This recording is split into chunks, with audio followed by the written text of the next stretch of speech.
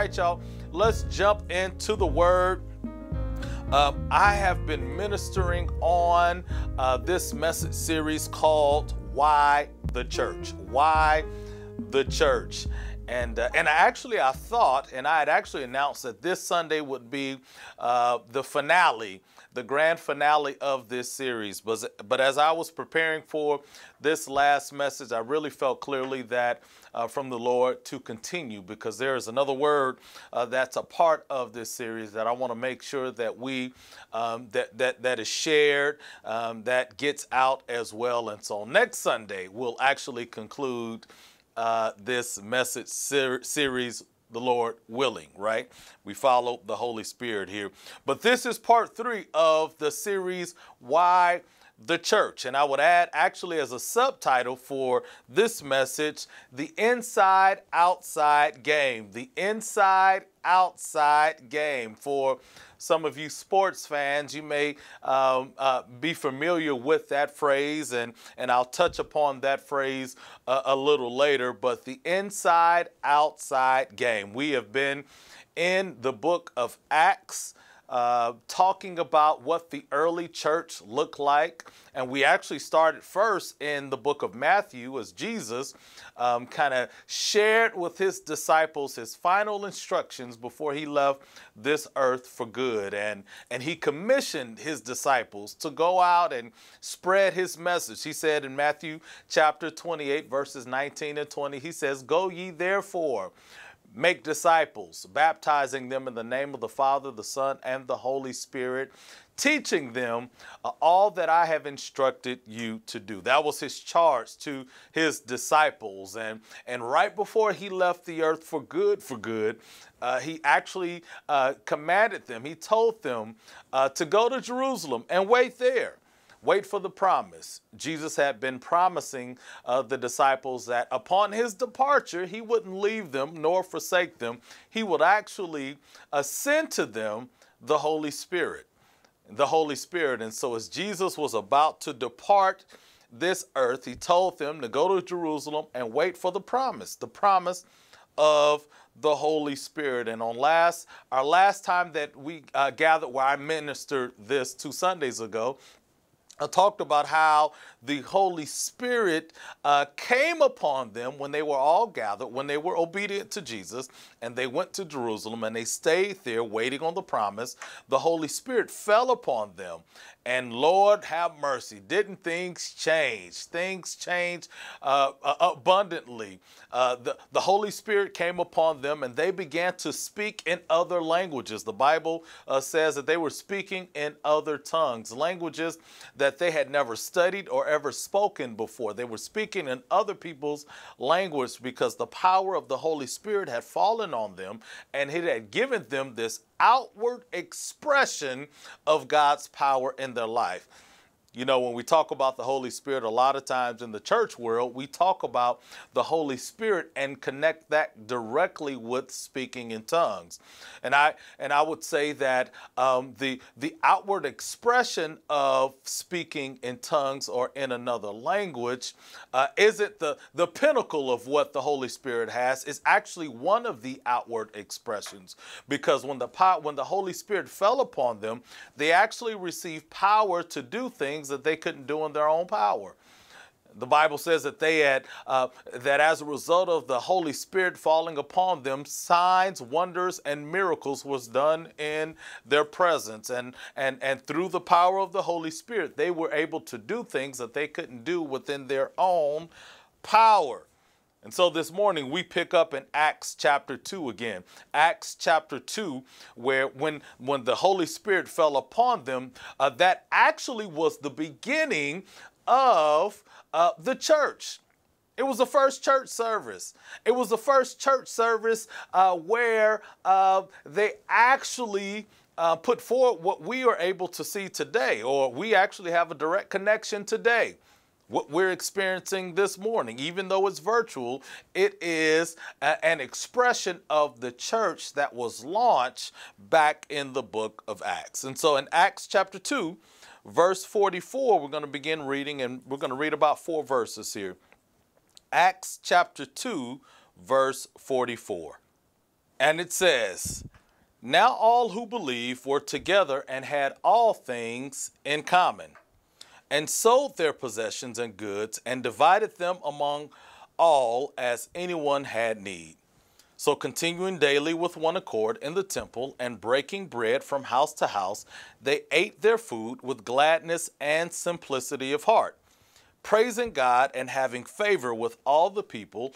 And the Lord added to the church daily those who were being saved. See, right here, we see the outgrowth of the early church uh, was from the church to the world.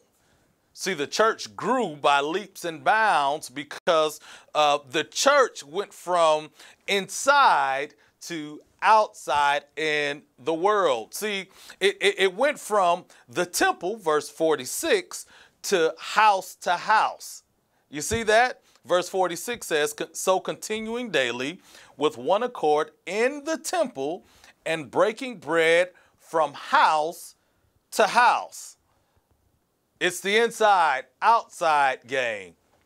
See, I'm a Lakers fan. I, I, am a Los Angeles Lakers fan. Yes, I am. I mean, I go back to Showtime. I'm talking about 17 NBA championships. I'm talking about 38 years of being a fan uh, of the Los Angeles Lakers. See, uh, I like LeBron James. He plays for the Lakers right now. I do. I'm a fan of LeBron James, but I'm a bigger fan of the Lakers. And so if LeBron isn't with the Lakers, you know, I'll still, you know, I like him and all, but but I'm not to root for him because I'm to root for the Lakers, the Los Angeles Lakers. I'm talking about Showtime. I'm talking about Magic Johnson, Kareem Abdul-Jabbar, James Worthy. I'm talking about Kobe and Shaq. I'm talking about the good times and the bad times.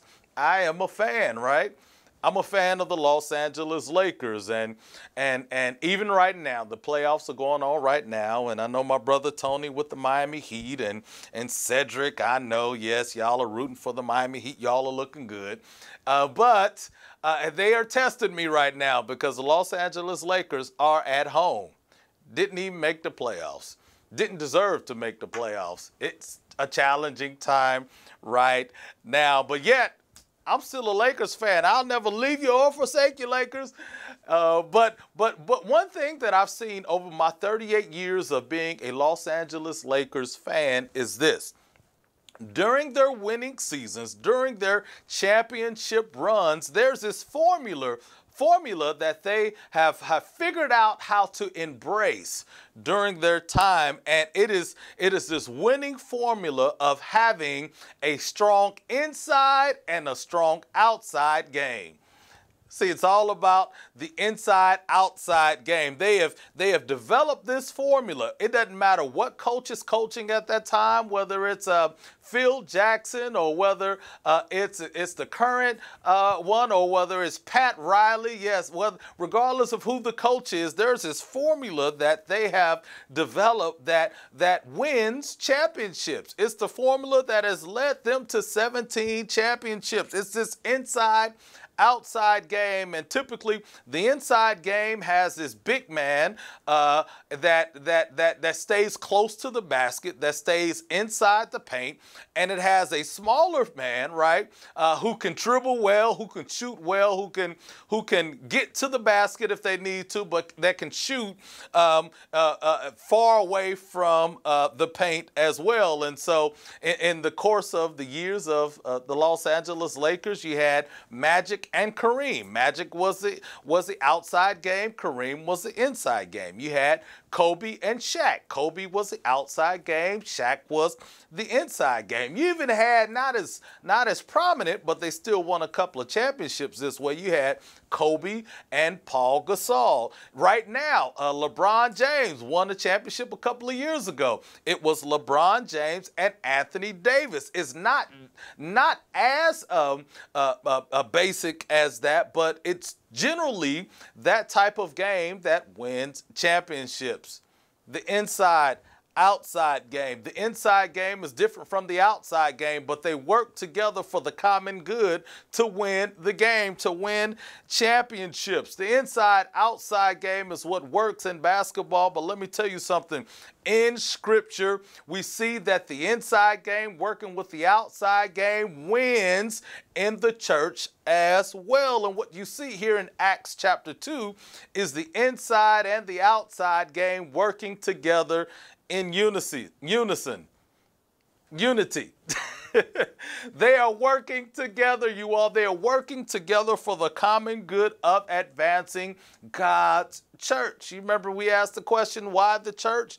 because it's God's idea. Why the church? Because Jesus launched it and planted it. Why the church? Because it's through the church that this world uh, can and should be transformed. And, and the church cannot just stay within the confines of the four walls. The church cannot stay within the confines of people that just walk and talk like you or share your common beliefs. Uh, the growth of the church will happen when the church goes from the inside to the outside as well.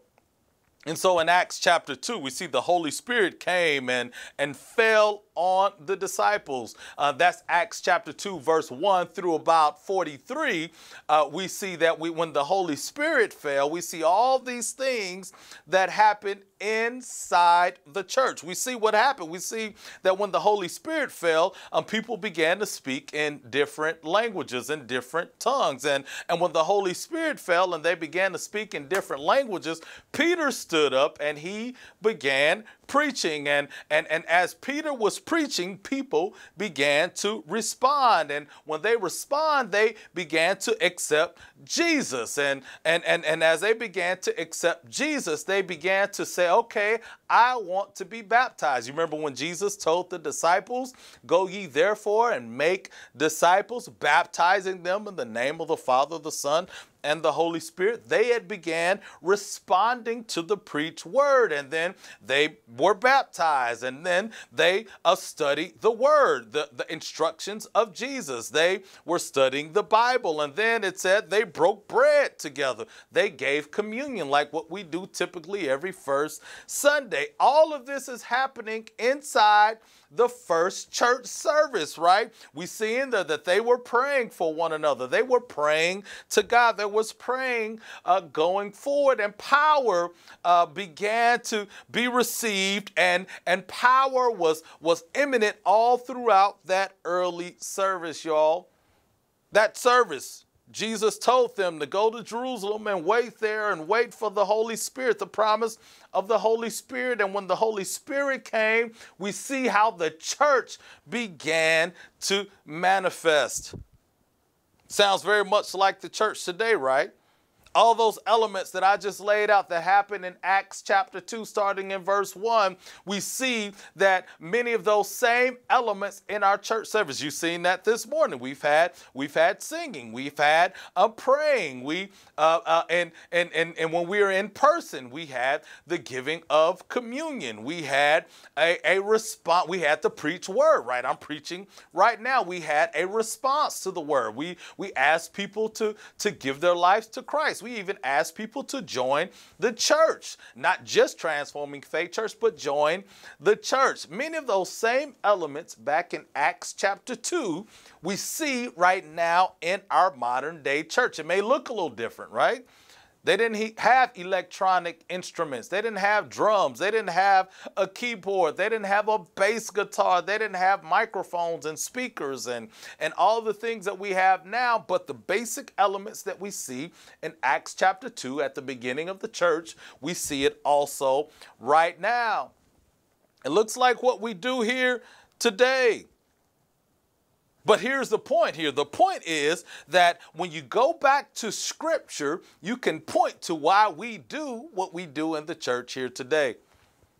See, the reality is many people question the church. Why do I need the church? I don't do the church. I don't do the church. I'm a spiritual person, right? It's just me and Jesus. I don't need nobody else. I don't need to go to church to have a strong relationship with Christ. And I want to beg to differ with you this morning. I, I, beg to differ because the church isn't our idea. It isn't a man made concept or construct. It's right here in scripture in Acts chapter 2. We see the church was launched and and it's through the church that that people came to know Jesus and began to grow in Jesus and receive the kind of power that only Jesus could provide. So yes, they needed the church back then. I don't know why we think we are uh, that different that we don't need the church today. The church is God's idea, and if it's God's idea, it ought to be our ideas. Time out for us coming forward with our own bright ideas and, and things of uh, that we think the way the things ought to go. No, we need to go back to what Jesus said is important. And if you go back to Acts chapter 2, even in that early church uh, worship experience, that first church worship uh, experience, we see there that everything that went on was all about Christ.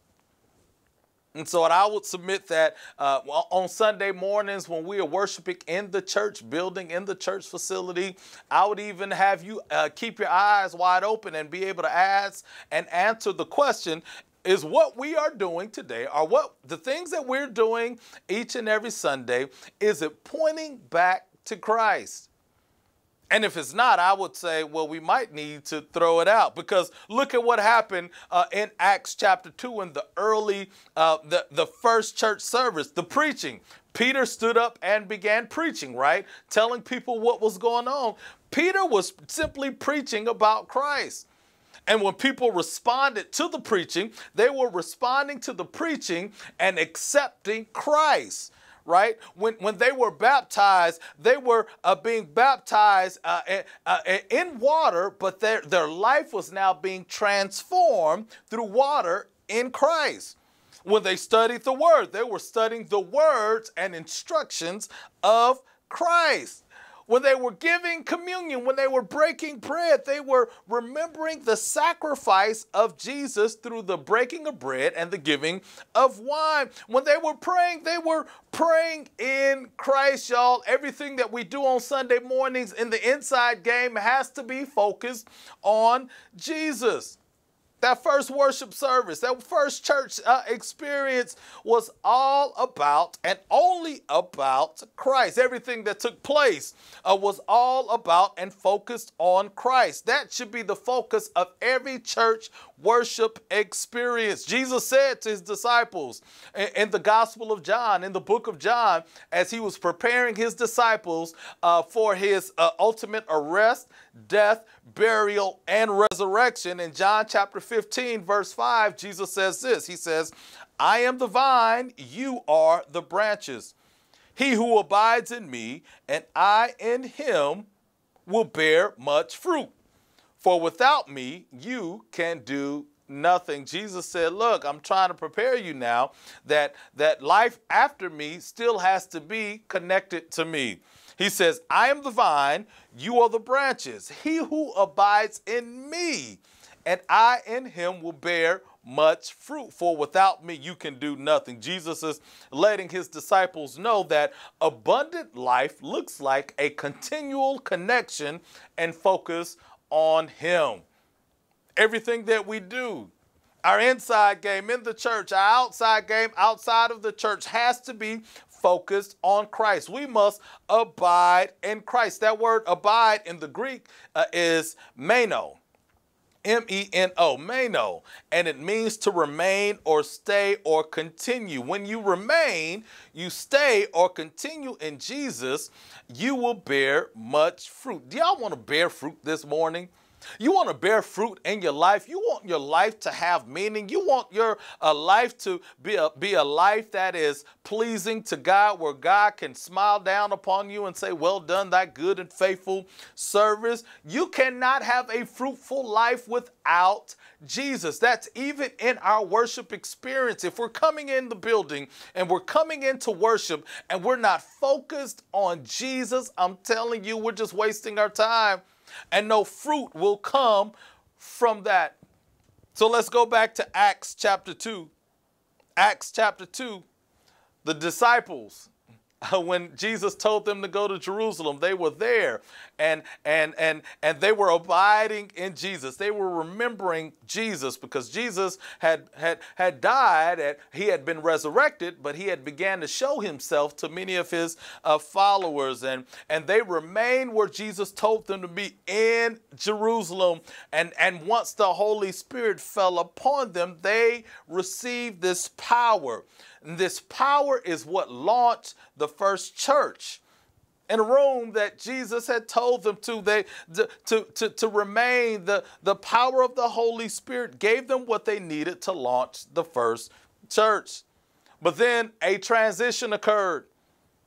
After the Holy Spirit came in Acts chapter 2, 1 through about verse 43. After the Holy Spirit came, after people began speaking in different language, after signs, wonders, and miracles occurred, after preacher uh, Peter preached the first sermon of the church, after pe uh, people received the word and the word uh, and they received the word of Jesus and and they accepted Jesus in their life, after uh, people were baptized in Jesus, after they had received communion through the breaking of bread, remembering Jesus, after they had this phenomenal worship church experience through the power of the Holy Spirit, after all of that, there was a shift. There was a shift, y'all, from the inside to the outside. Y'all remember the Lakers? Remember the inside outside game? Winning championships are, are won because of a strong inside game and a strong outside game. In the church of, of, of our Savior Jesus Christ in Acts chapter 2, verse 44, it says, Now all who believe were together and had all things in common. They were still in the church, right? 45 and sold their possessions and goods and divided them among all as anyone had need. That means they had to transition from in the church to outside the church. They couldn't sell their goods and and and possessions inside the church. No, they had to leave that worship experience and they had to go and sell all of their possessions and then they divided them among all for anyone who had need. Verse 46. So continuing daily with one accord in the temple and breaking bread from house to house. That's the shift from the temple to house to house, right?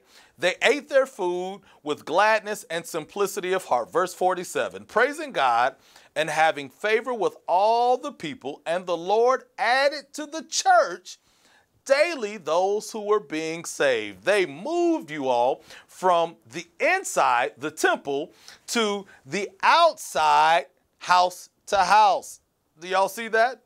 Y'all see that? They went from worshiping in church, right? Let's put it in our modern day um, vernacular. They were worshiping on Sunday morning, like what we're doing, right?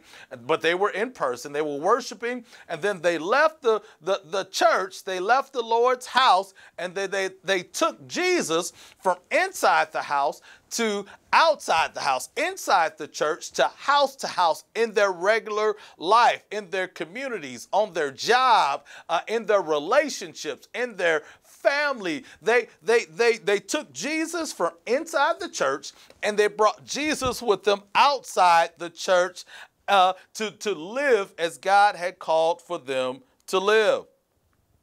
See, the church grew the church grew in verse 47 because of the worship in the temple, verse 46a, right? Um, uh, so continuing daily with one accord in the temple. And because, right, the church grew also because they were going house to house breaking bread. That's the second part of verse 46. And breaking bread from house to house, they ate their food with gladness and simplicity of heart. So look at what happened, verse 47. After they praised God, they, they had favor with all people. You see that? They, they were inside the house. They were inside the church, right? Worshiping God. Then they took the worship of God and they went outside the church, going from house to house. And, and in verse 47, they said they were praising God, but then they had favor with all people. And because of that favor with all people, the church grew. The Lord added to the church daily Now here's here's a here's a functional reality of church as we know.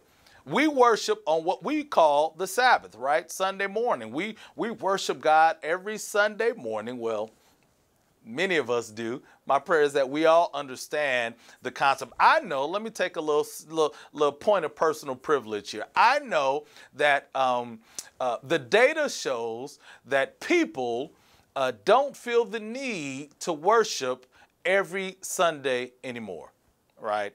We know the statistics show that um, the, the, the church going behavior, behavior or habits of people is going down year after year after year. And this pandemic just um, sped up that, that trajectory.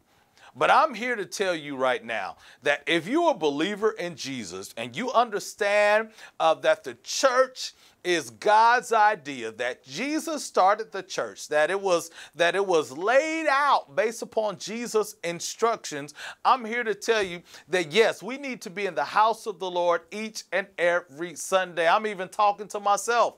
Because even when we launched Transforming Faith Church, I was like, do we have to worship every Sunday? Right? Do I have to preach every Sunday? Why can't we we switch it up a little bit? And and and I'm here to tell you that the intentionality of the church is God's idea worshiping Jesus together collectively is God's idea. Where, where we're uh, reading the word, where we're studying the word, where we're receiving the preached word, where we're making decisions uh, uh, uh for Jesus, for our life. It could be uh, accepting Christ for the first time. It can be uh, recommitting our life. It could be making some tangible decisions in our life. It's within the church, the inside game, that God has established for our good. What better do you have to do on Sunday mornings? Yeah, you're sleeping, you're chilling, or you're doing stuff that, that isn't producing the kind of good that God wants to see in your life. The fruit that is that is born because of your abiding with Jesus. Is what could you be doing that's more important than continuing to worship Jesus, growing closer, abiding in Jesus? It'd be different if during that same time you were deeply in the word, praying and, and committed. But we know, let's be let's be honest let's let's just be real right now. We are not replacing that time that we are not in the church with something fruitful that is in alignment with God. Right? Eh, we, we, we might be replacing it with something else that's good, but is it the better thing? But I digress. I digress. God set up the church for us to both have the inside game and the outside game. He wants us to, to focus on Jesus within the church building, within our worship experience and our worship setting, but He wants us to take Jesus from house to house in our life. And I'm not saying this morning that you need to be going around preaching and teaching uh, the gospel. What God wants you to do is take Jesus uh, from inside the church uh, to outside the church through your life. Just show up and be the light that, that God has called for you to be. Jesus says in Matthew chapter 5, verse 16, he says, Let your light so shine before men that they may see your good works and glorify your Father in heaven. The light of your life in Jesus uh, will shine bright enough that the outside world, outside the church, um, uh, people outside the church in your life will see uh, the God in you and they'll say, What must I do to be saved? They'll say, What must I do to course correct, to, to, to get my life on the right path?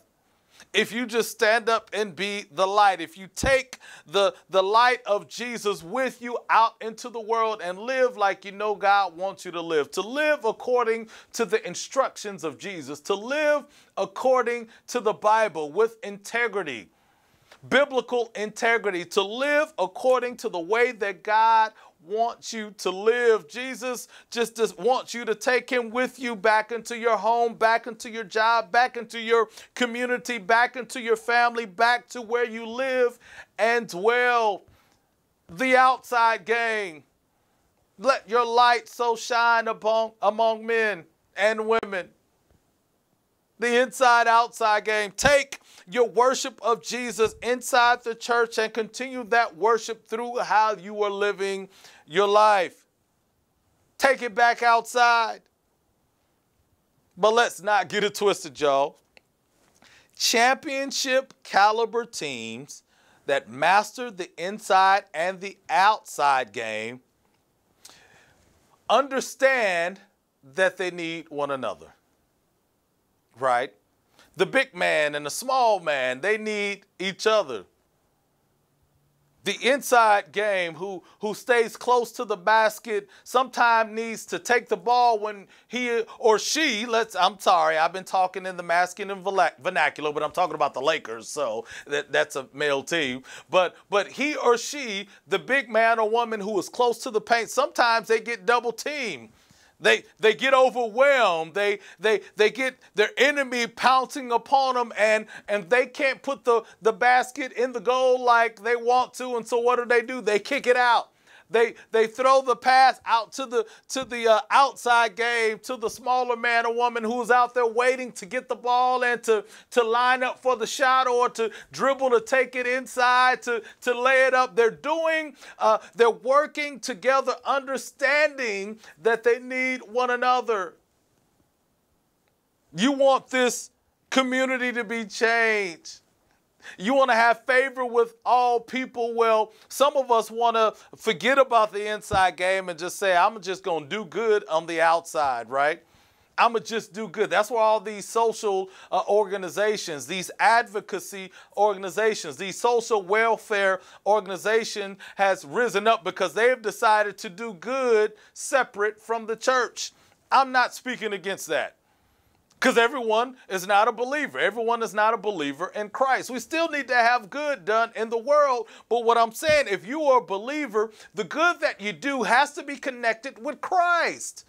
It has to be connected with, with our Lord and Savior. And so, if we were to take our worship inside the church and then take it to the outside, to take our good works from the inside and take it to the outside, this world will be changed the, the drama, the trauma that we are seeing, the, the, the war that is going on, you'll see peace. The, the high unemployment, you'll see people with good paying jobs. The, the, the poor academic outcomes, you'll see uh, uh, young scholars rising up and, and mastering uh, uh education to see better educational outcomes. The crime that you're seeing in pockets all across our country will be uh, abolished because the church is standing up and taking taking its inside game and saying, I'm going to take it to the world. I'm telling you, the church is the answer. The church is the answer because it's God's idea.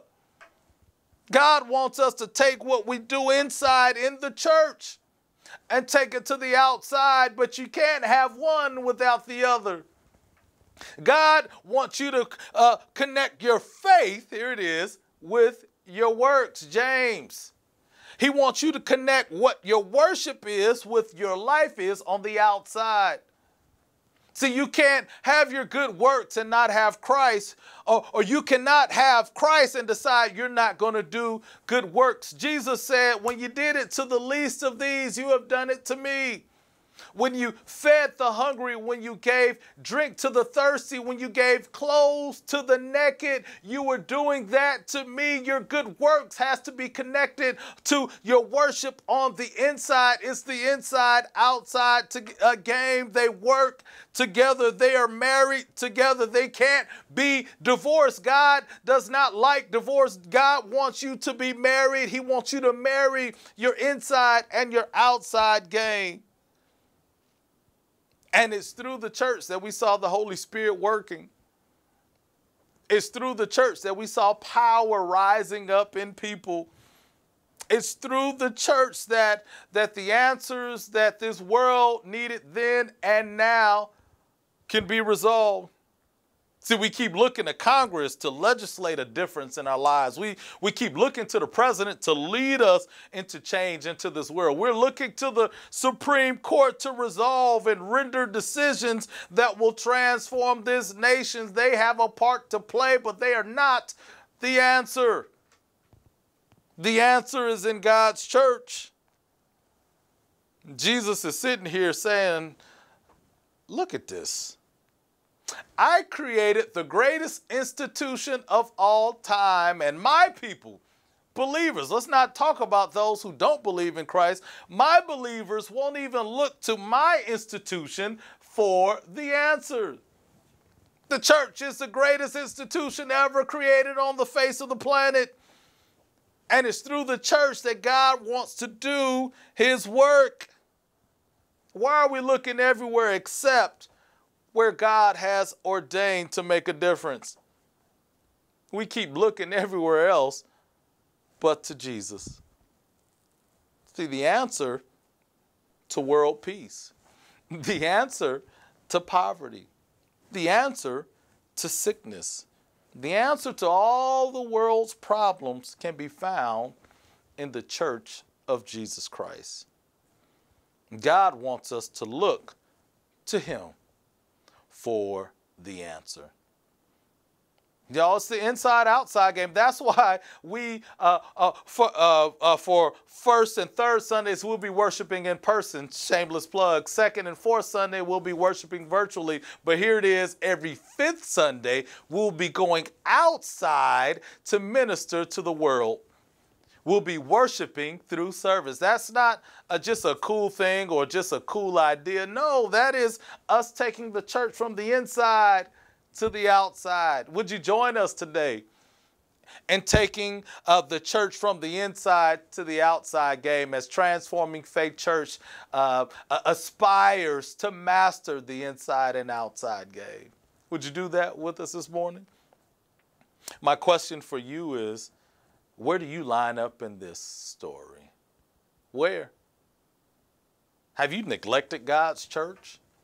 Have you said, oh, I'm good, or even I got to get my life together, I'm working some things out or whatever, and you're trying to do it separate from the church? Or are you in the church and you're fully in? You're you're all in every Sunday, every Wednesday, Bible study. You're all in, and and but you're not uh, focusing on the outside game on what God has called for you to do. Y'all, it's all about the inside, the outside game. And my prayer is that you would understand that the church is God's idea. The church was launched by Jesus, and he wants us to continue his work through the church. Amen. Amen. Amen. Can I pray with you this morning? Can I pray with you this morning that you would see how the church is a critical aspect of your life, both inside and outside of the church as well? God, I thank you for this word this morning. God, our prayer is that uh, we would see your word more clearly than ever. And as we gain clarity in your word, God, we will embrace it and walk in it. God, that we would no longer uh, feel separated from the church, that we would no longer feel that the church is only relevant for inside the four walls, but we are able to take your church to the outside and do like the book of Acts said go from house to house understanding that we would gain favor with people and your church will grow by the, ad, by the adding of people. God, we love you so much. We honor you. Thank you for this word. Thank you for your time in the Holy Spirit with us this morning. We love you. We honor you. It's in your Son, Jesus' name, we pray.